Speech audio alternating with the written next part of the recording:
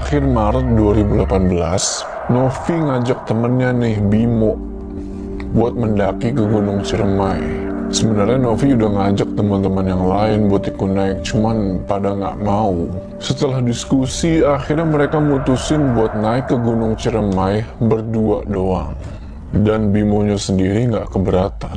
Sedikit tentang Bimo. Jadi Bimo ini dia itu bisa ngelihat makhluk-makhluk gaib. Dia juga udah sering banget mendaki gunung. Makanya Novi percaya sama dia buat nemenin dia ke Gunung Ciremai ini. Awal April berangkatlah mereka berdua ini ke arah Kuningan dari Cilengsi dengan menggunakan bus dan mereka berdua mutusin buat mendaki lewat jalur Palutungan. Setelah perjalanan jauh sampailah mereka nih di Terminal Cirendang sekitar jam 10 malam karena udah sepi dan gak ada angkot buat ngangkut mereka ke base camp, akhirnya mereka berdua mutusin buat naik ojek.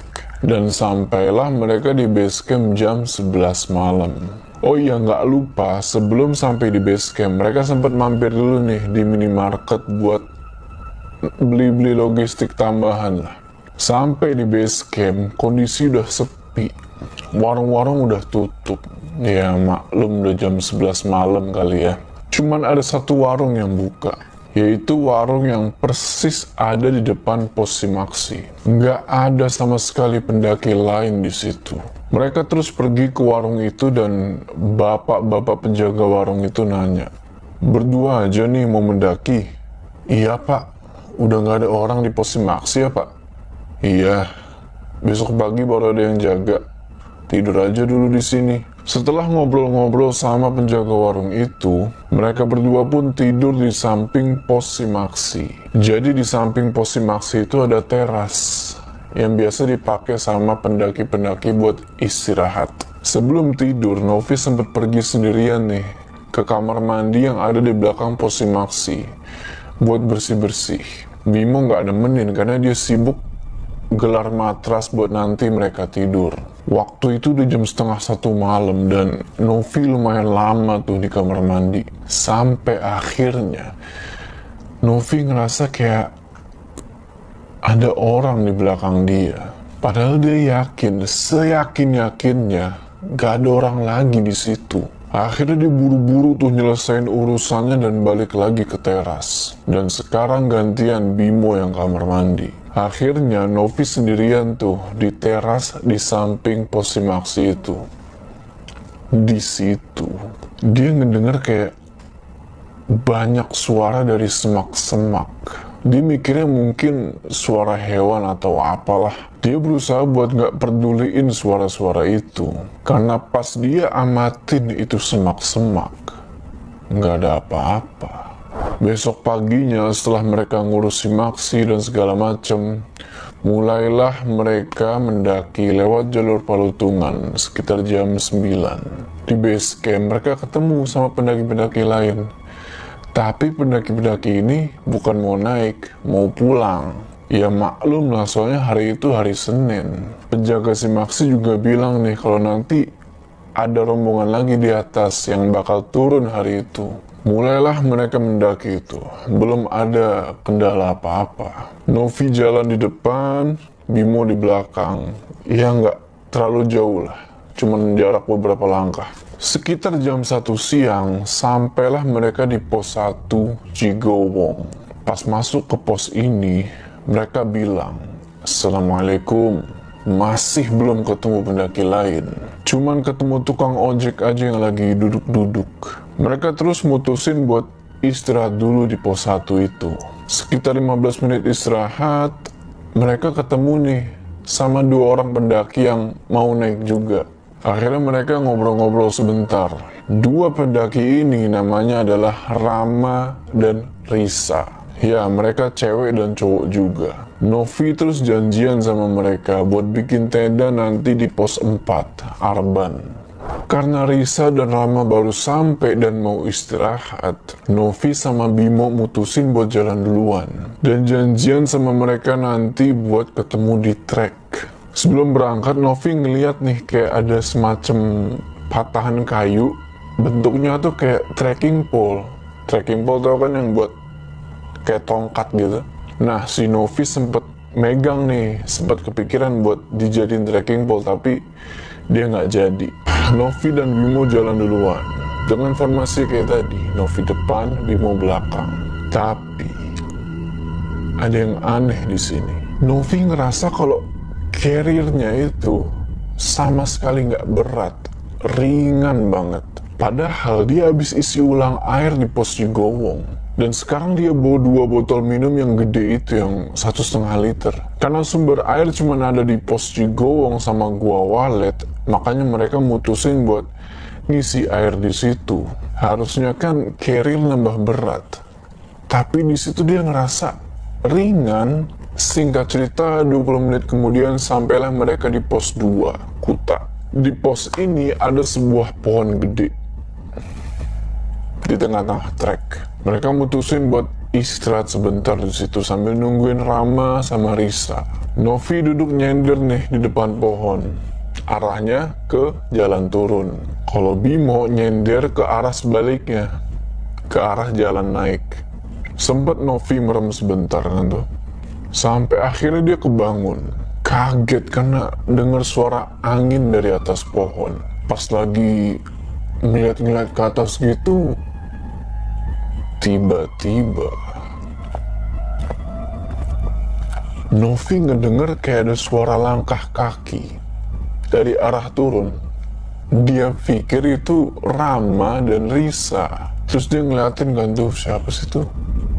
Ya berharap kalau itu si Rama dan Risa muncul. Udah ditungguin, ditungguin, tapi kok nggak muncul-muncul juga. Akhirnya karena penasaran dia berdiri dan ngeliat tuh ke arah bawah. Siapa sih? Ternyata ada orang yang lagi gendong carrier pakai rain cover abu-abu. Cuman carriernya aja yang kelihatan, kepalanya enggak karena orang itu lagi rada nunduk. Novi mikir, dalam hati Novi bilang, oh si Rama sama Risa udah deket nih. Tapi kok lonceng kecil yang digantung Rama di celananya nggak kedengeran. Setelah itu Novi duduk lagi dan dia manggil Bimo. Tapi dipanggil-panggil kok nggak nyaut-nyaut nih orang. Pas dicek ternyata dia tidur. Ya udahlah, balik tuh Novi nungguin Rama sama Risa yang pikir dia beberapa langkah lagi sampai. Tapi aneh, udah 10 menit dia nunggu kok nggak sampai-sampai. Akhirnya dia berdiri lagi dan mutusin buat turun ke bawah ngecek. Dan ternyata nggak ada siapa-siapa. Novi langsung naik lagi ngebangunin Bimo buat ngelanjutin perjalanan. Soalnya udah mulai ada yang nggak beres di sini. Di pertengahan jalan ke pos 3, mereka berdua mutusin buat istirahat lagi nih, nungguin Rama sama Risa. Mereka makan-makan lah tuh di pinggir trek yang lumayan lapang. Karena waktu udah nunjukin jam 2 lewat dan mereka belum makan.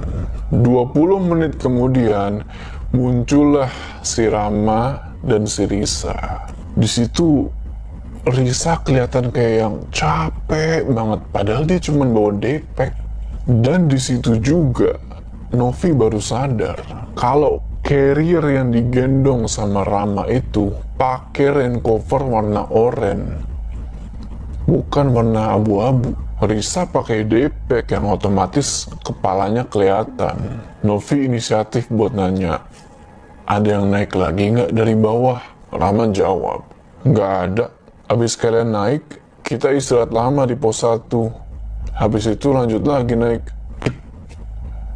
Terus carrier abu-abu tadi siapa? Dan juga ternyata si Risa ini ngebawa patahan kayu yang tadi, yang kayak trekking pole, inget kan? Yang di pos 1. Setelah itu mereka semua makan-makan dulu sebelum melanjutin perjalanan. Sehabis makan mereka jalan lagi. Dengan formasi Rama jadi leader. Di belakangnya ada Risa, belakangnya lagi ada Novi, terakhir sweeper adalah Bimo. Di sini Novi ngerasa kalau carriernya itu masih enteng banget. Malah kayak nggak bawa carrier, menurut dia itu aneh. Mereka jalan lumayan pelan karena mereka harus ngimbangin Risa yang katanya kakinya sakit. Udah dibujuk nih buat turun aja lah, tapi dia tetap ngotot buat naik. Akhirnya depeknya Risa dibawain lah sama Rama. Jadi Risa naik nggak bawa apa-apaan, cuman bawa badan doang. Tapi tetap aja jalannya masih tertatih-tatih. Sampai di pos 3 mereka ketemu lagi sama rombongan pendaki yang mau turun. Kita sebut aja namanya Mas A, Mas B, sama Mas C. Novi nanya, turun mas? Iya nih kak, masih ada pendaki lain ya di atas. Ada kak, tadi kita sempat ketemu kok, masih ada satu rombongan di belakang. Gimana cuaca di atas mas? Wah mendung mas, nggak cerah, hujan terus kalau malam. Setelah itu rombongan tersebut pamit buat lanjut turun karena mereka kayaknya lagi buru-buru. Risa sama Rama masih pengen istirahat di pos 3. Sedangkan Novi sama Bimo mutusin buat jalan duluan ke pos 4 karena hari udah semakin sore. Di perjalanan ke pos 4, Novi sama Bimo ketemu nih sama rombongan yang tadi diceritain sama si Mas A. Mereka berdua nggak banyak ngobrol sama rombongan itu karena kelihatannya rombongan itu juga lagi buru-buru. Setelah itu Novi dan Bimo lanjut jalan lagi. Nggak pakai nunggu Rama dan Risa. Nggak ada kendala apa-apa selama perjalanan ke pos 4. Udah jalan-jalan-jalan, mereka mutusin buat berhenti lagi. Nungguin Rama sama Risa. Di trek yang lumayan lapang lah. Sekitar 15 menit kemudian, datanglah mereka berdua tuh. Dan tiba-tiba Risa nanya, kalian barusan dengar suara cewek teriak gak? Enggak. Masa sih? Kenceng banget loh. Novi sama Bimo cuman saling pandang-pandangan. Bimo nanya, kalian istirahat lama banget? Iya, tadi kita masak mie dulu di trek. Setelah itu Bimo ngajak mereka buat lanjut jalan karena hari udah semakin gelap. Formasi sekarang Bimo di depan jadi leader dan Rama sekarang jadi sweeper. Mereka udah jalan lama banget, tapi Risa masih aja ketinggalan. Rama udah kelihatan kesel tapi ditahan sama dia. Akhirnya Novi sama Bimo sampai duluan di pos 4 Arban. Sekitar jam 5 sore. Mereka terus bangun tenda di samping kiri pohon besar yang ada plakat Arban. Sampai saat ini Novi belum merasa diganggu, kecuali yang kejadian tadi tuh yang di pos 2 yang carrier abu-abu itu. 10 menit kemudian, datanglah Rama dan Risa. Novi pikir mereka bakal bangun tenda di sebelah kanan pohon, jadi mereka deket nih. Tapi mereka malah di seberang, seberang trek jauh. Setelah bangun-bangun tenda, hujan turun. Sekitar jam 8 malam, selesai masak-masak dan makan-makan, Bimo pamit buat tidur duluan. Posisi tidurnya Novi dekat pintu, Bimo pojok. Mereka nerangin tenda cuma pakai satu senter. Cahaya yang cahayanya kuning dan itu juga udah redup. Sebelum tidur, Bimo bilang, kalau dengar apa-apa di luar tenda, jangan dipeduliin gue tidur duluan ya. Novi cuma diem. Dia pikir mungkin suara-suara yang dimaksud Bimo itu babi atau hewan-hewan lain lah. Sampai jam 10 malam Novi nggak bisa tidur, cuman merem-merem doang. Di situ dia bilang, aduh semoga ada pendaki lain biar rame. Gak lama setelah itu, tiba-tiba sayup-sayup kedengaran suara langkah kaki dari arah turun. Waktu itu hujan udah nggak deras, tapi masih gerimis. Novi terus bangun dari posisi tidur, dia duduk, terus fokus ngedengerin suara langkah kaki itu dari pintu tenda.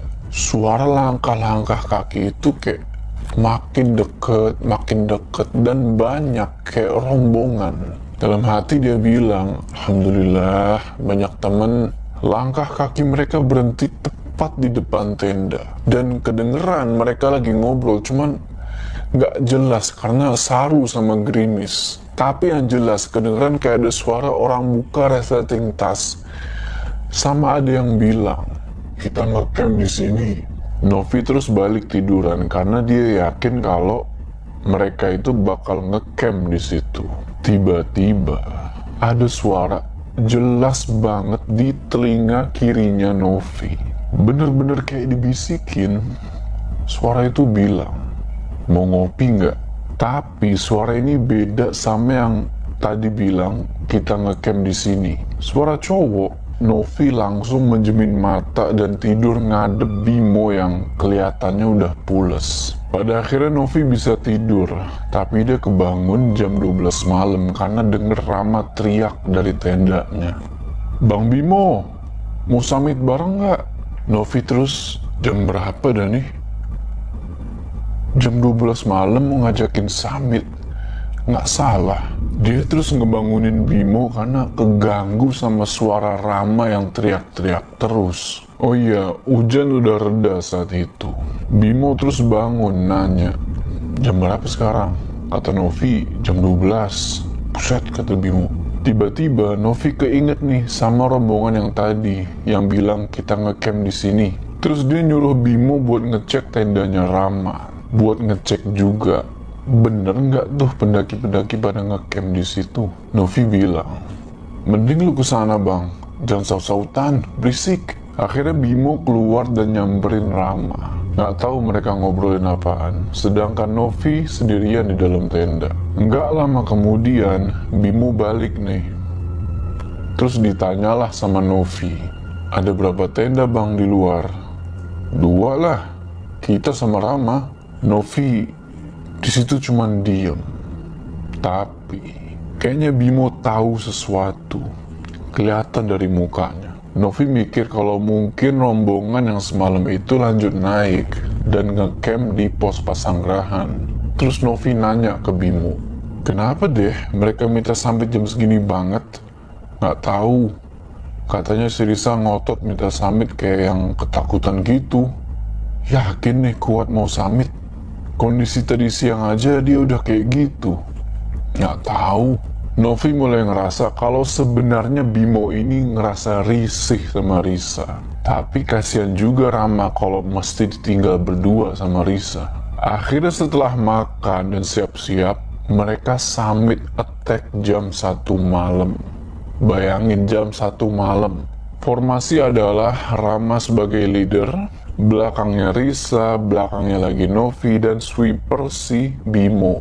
Di jalan summit ini Novi berasa kayak penuh banget.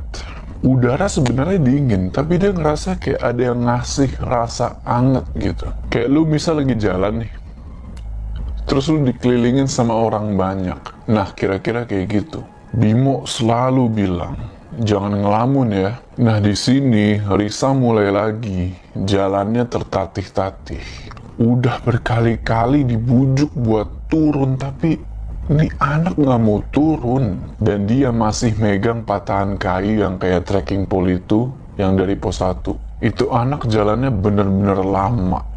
Lima langkah berhenti, lima langkah berhenti. Bimo kelihatan udah nggak sabaran di sini. Karena Risa nggak mau diajak turun, Novi sama Rama cuma bisa nyemangatin dia. Di tengah-tengah perjalanan setelah ngelewatin tanjakan Asoy pos 5, tiba-tiba Risa minta istirahat buat tidur.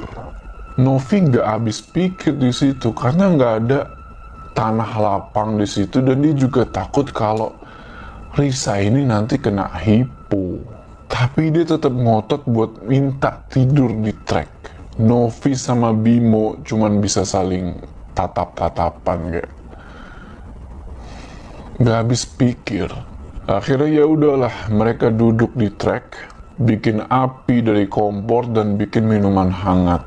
Waktu itu sekitar jam 3 pagi. Karena kondisi Risa, Novi udah gak mikirin sunrise sama sekali. Apalagi puncak. Dia cuma kasihan sama Rama. Sebenarnya, banyak sorot mata dari semak-semak pas mereka lagi istirahat di trek itu. Merhatiin mereka. Novi cuma bilang dalam hati, Maaf kalau kalian kurang berkenan. Karena dia bener-bener ngerasa kalau mereka itu bener-bener ada di sekitaran. Sekitar jam 5 subuh, bangunlah Risa. Lagi-lagi mereka bujuk nih anak buat turun. Tapi dia nggak mau sama sekali nggak mau. Akhirnya mereka mutusin buat sarapan dulu di situ sebelum lanjut ke pos 6 Pasanggerahan. Untungnya nggak ada kendala apa-apa pas perjalanan ke pos 6 Pasanggerahan. Pos terakhir buat bangun tenda. Di sini, hal yang benar-benar bikin Novi kaget sampai bengong adalah nggak ada tenda satupun. Ingat sama rombongan yang semalam?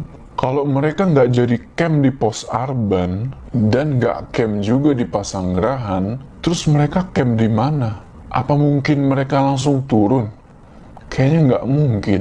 Sekitar jam 8 pagi sampailah mereka di pos 7 dengan Risa yang masih terseok-seok. Pas istirahat, Risa mulai ngebahas nih.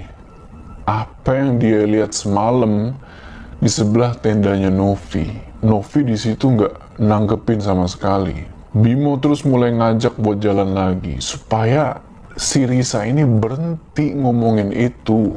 Kalian tau lah kalau di gunung cerita-cerita kejadian kayak gitu ya kemungkinan besar akan makin narik mereka itu. Di sini lagi-lagi terjadi kejanggalan.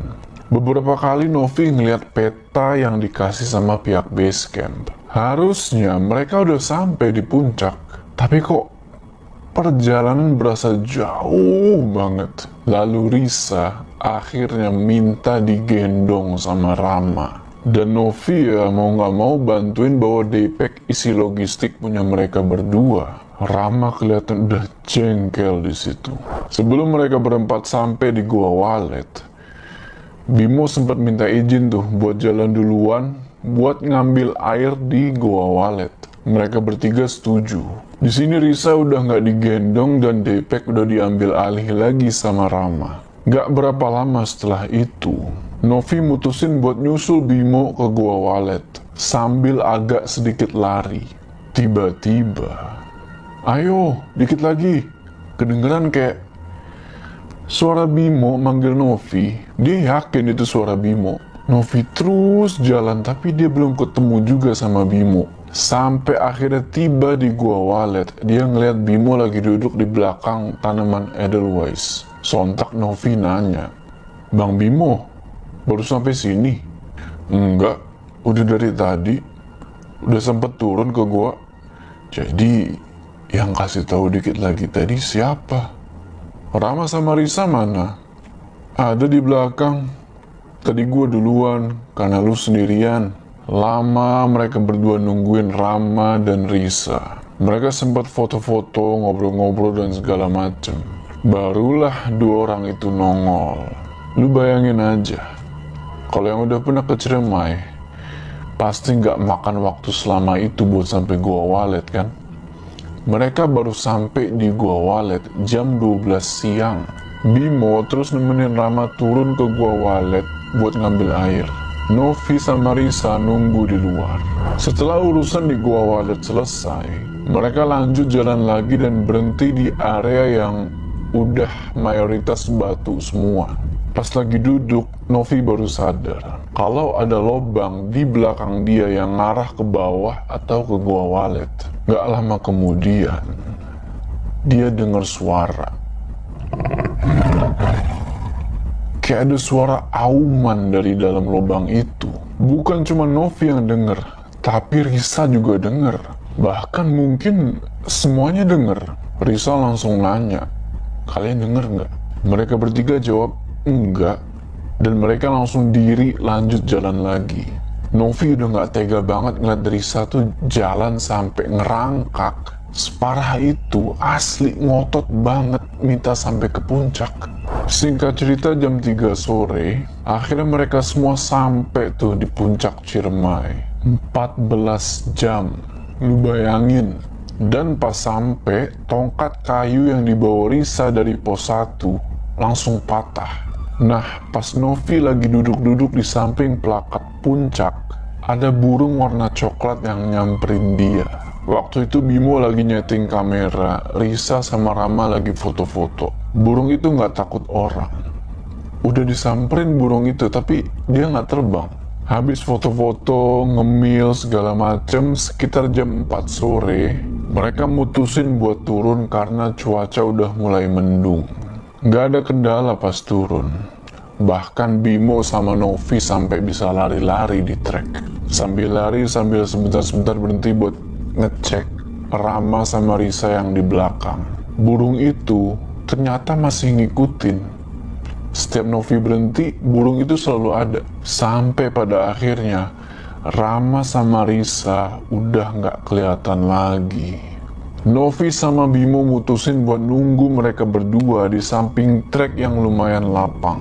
Di sana ada pohon tumbang yang lumayan gede. Oh iya, waktu itu mereka sempat papasan nih sama rombongan Sispala di trek. Dan pas mereka berdua lagi nunggu Risa sama Rama, ternyata Sispala itu balik lagi sambil bawa Risa dengan cara digendong, disusul sama Rama. Rama bilang kalau Risa itu nggak bisa jalan, badannya berat dan kakinya sakit. Tiba-tiba hujan turun deras banget dan Bimo bilang, cabut, kita nggak bisa di sini. Ini bukan tempat kita. Napas Bimo jadi nggak teratur. Dia kelihatan panik nggak tahu apa yang dia lihat. Waktu udah jam 5 sore, tapi udah kayak malam. Rama, Risa, sama rombongan Sispala jalan duluan. Tinggal Novi sama Bimo nih, mereka berdua lagi. Terus mereka jalan. Sepatu udah mulai berat karena mesti ngelawan air. Jalanan sempit, tapi gak lama kemudian mereka ketemu lagi sama Rama, sama Risa yang lagi duduk di tengah trek. Novi sontak nanya, loh si spalanya mana? Rama bilang udah turun ke bawah. Mereka nyerah, Risa berat banget. Novi mau duduk, tapi langsung ditahan sama Bimo. Terus Bimo bisikin dia, kita nggak bisa di sini terus. Terus mereka gimana? Gini aja, gue sama Novi jalan duluan. Kalian jalan pelan-pelan aja. Tenda Sispala itu ada di pos 6. Udah nggak jauh dari sini. Gue nanti akan minta tolong ke mereka. Mudah-mudahan aja ada ranger di sana. Oke kalau gitu, kalian berdua hati-hati ya. Novi udah mau nangis di situ. Setengah dirinya nggak mau ninggalin Rama sama Risa. Tapi nggak mungkin juga kalau dia biarin Bimo jalan ke bawah sendirian. Sempat bingung akhirnya Bimo narik tangannya Novi dan mereka jalan duluan. Novi masih sempat nengok ke arah Rama sama Risa. Itu terakhir Novi ketemu mereka malam itu. Novi nangis, sedih karena harus ninggalin mereka berdua di sana dan gak bisa berbuat apa-apa kecuali berdoa. Novi dan Bimo jalan berdua duluan nyusurin trek yang udah gelap banget. Dan mereka cuma punya satu sumber cahaya, yaitu dari senter HP dan itu pun juga baterainya tinggal 15%. Bimo di depan, Novi di belakang. Terus Bimo bilang, Dengar ya, kita nggak bisa jalan berdampingan. Jangan nengok ke mana-mana selain ke trek Lu pegang senter ini dan arahin ke bawah. Bantu gue lihat jalan dari belakang. Jangan lepasin tangan gue ya. Bimo ngomong gitu sambil sedikit teriak, soalnya hujan deras. Di saat yang bersamaan, kabut juga turun. Novi megang tangannya Bimo kenceng banget, nggak mau kepisah. Tapi, beberapa saat kemudian Bimo teriak, lepasin tangan gue.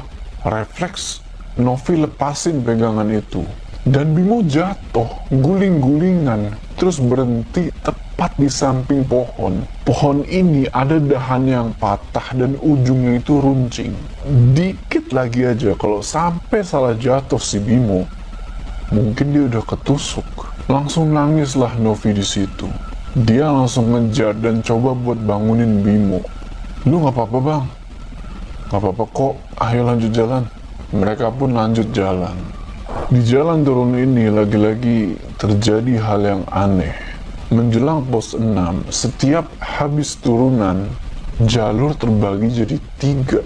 Di sini Novi masih denger tuh suara burung yang tadi ada di puncak. Ingat kan? Dia masih ngikutin Novi. Setiap kali Novi berhenti, burung itu berkicau. Mereka shock karena ngelihat jalur tiba-tiba jadi tiga.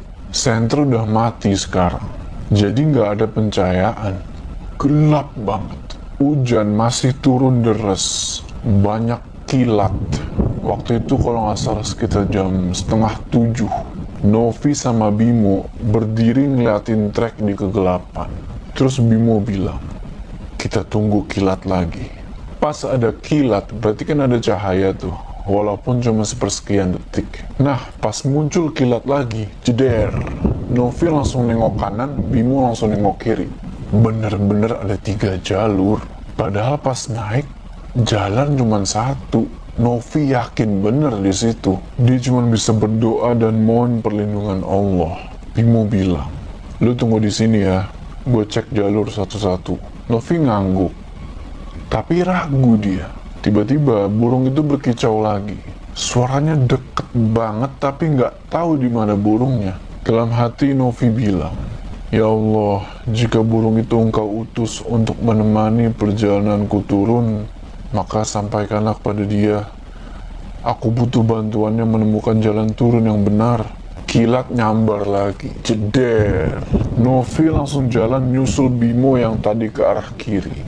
Bareng sama Kilat, Novi terus manggil Bimo. Bang, Bimo denger.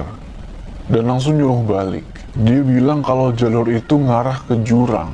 Mereka berdua balik ke titik semula dan nunggu kilat lagi. Pas kilat nyamber, mereka langsung nyoba jalur yang tengah.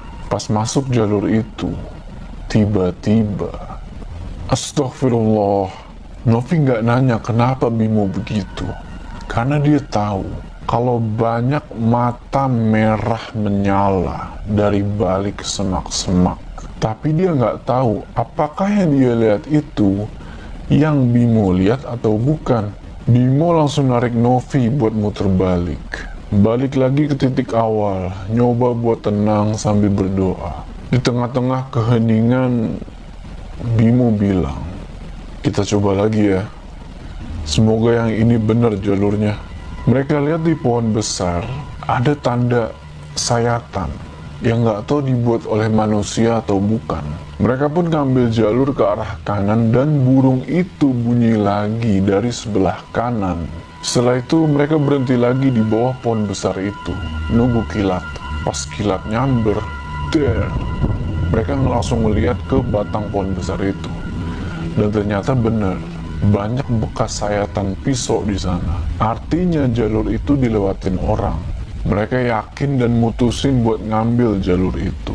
Kejadian jalur jadi tiga ini terus berulang sampai tiga kali. Dan Novi baru sadar di mana asal suara burung itu, di situlah jalur yang benar. Singkat cerita, sampailah mereka di pos 6 Pasanggerahan dan ketemu sama tenda Sispala yang tadi. Mereka nggak bisa bantu buat naik ke atas lagi dan nawarin Novi sama Bimo buat nginep di tendanya. Tapi mereka nolak dan mutusin buat lanjut turun ke bawah ke pos 4. Novi sama Bimo jalan tanpa istirahat sama sekali dan tanpa penerangan.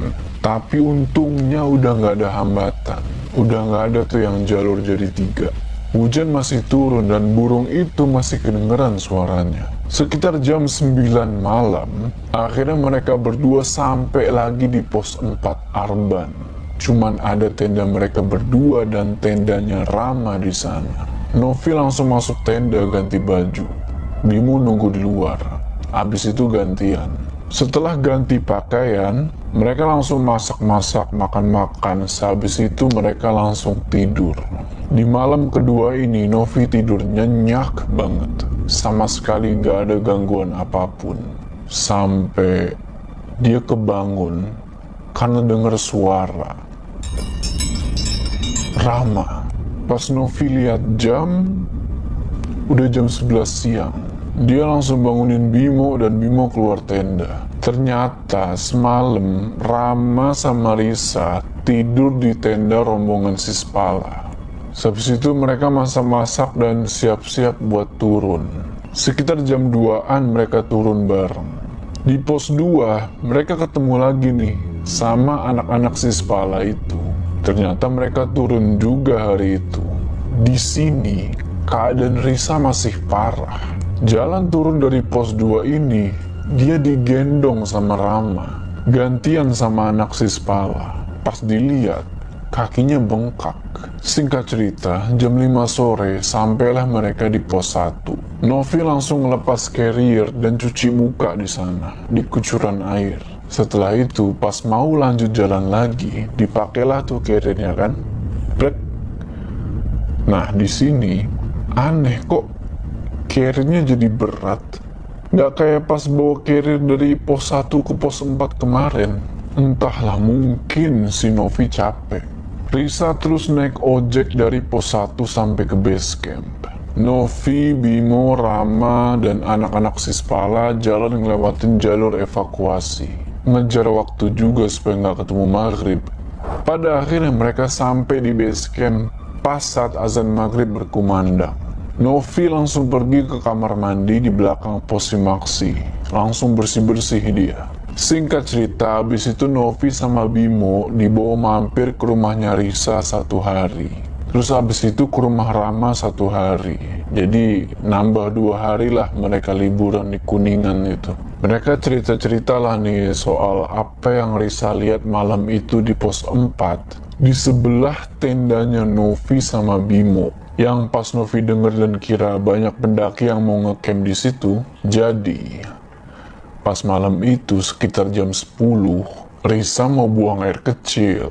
Dia keluarlah tuh, pergi ke samping tenda. Setelah selesai buang air kecil, dia masuk lagi ke tenda. Nah, pas mau nutup flysheet, Risa sempat nengok nih ke arah tendanya Novi. Bingung dia di situ kok tendanya Novi terang banget. Padahal kalau kalian inget, Novi cuma pakai senter cahaya kuning yang udah redup buat nerangin tenda. Nggak cuma itu. Yang bikin Risa lebih kaget lagi.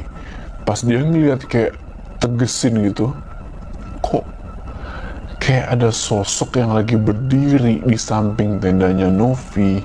Awalnya Risa pikir itu Novi atau Bimo, tapi nggak mungkin Soalnya sosok itu punya kaki yang panjang banget. Dan sosok itu tuh gede, warnanya hitam. Pas terus berusaha buat nutup flysheet, angin tiba-tiba berhembus kencang lewatin mukanya. Sontak dia langsung buru-buru masuk ke tenda dan bangunin Rama buat ngajakin summit. Jam 10 malam tapi ditahan-tahan tuh sama Rama sampai jam 12 malam.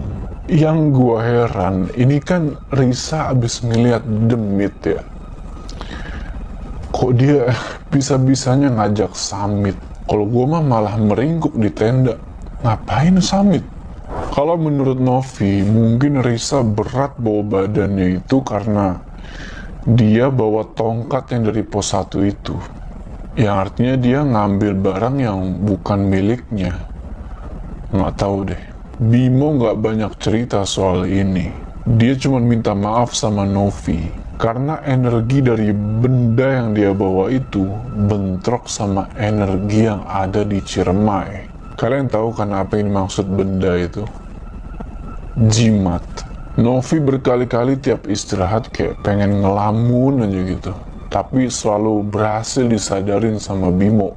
Novi juga ngerasa kalau jalan dari pos 4 ke puncak sampai turun lagi ke pos 4 mereka itu nggak nggak cuma berempat tapi banyak yang nemenin perjalanan mereka. Bimo bilang emang banyak yang jalan beriringan sama Novi. Nah, itu mereka.